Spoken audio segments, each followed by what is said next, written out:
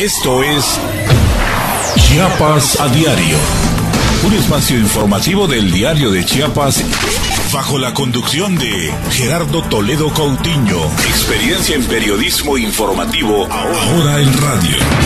Todos los sucesos que hacen historia los llevamos a usted con veracidad, objetividad y rapidez. Chiapas a diario, la escena global de la información. Gracias.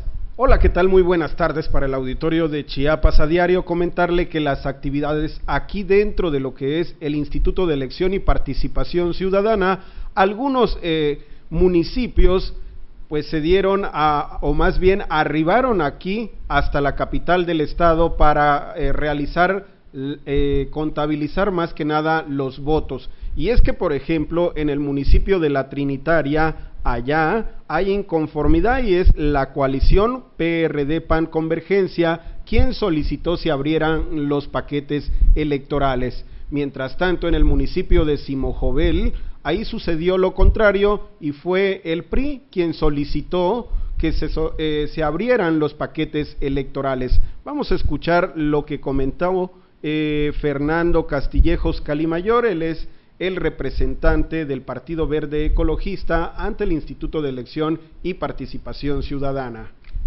Sucede que la coalición Alianza por la Unidad conformada por los partidos Verde Ecologista de México y Revolución Institucional traen una ventaja de aproximadamente 400 votos estamos únicamente en el procedimiento de ratificar el triunfo que, arrojó la votación al de la elección, ya que la, coalición que conforma los partidos PAN, PRD, Nueva Alianza y Convergencia, este, pues pretenden abrir, abrir ciertas casillas en donde el número de votos nulos supera la diferencia entre el primero y el segundo lugar, a la cual estamos dispuestos a acceder para que podamos ratificar el triunfo de la, de la alianza.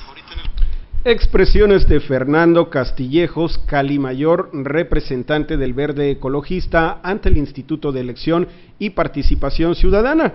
En el terreno de Simojovel, bueno, allá eh, es lo contrario, es el PRI, es el PRI quien pidió se abrieran los paquetes electorales y es que dice 90 votos lo benefician para llevarse el triunfo en aquella parte de la entidad.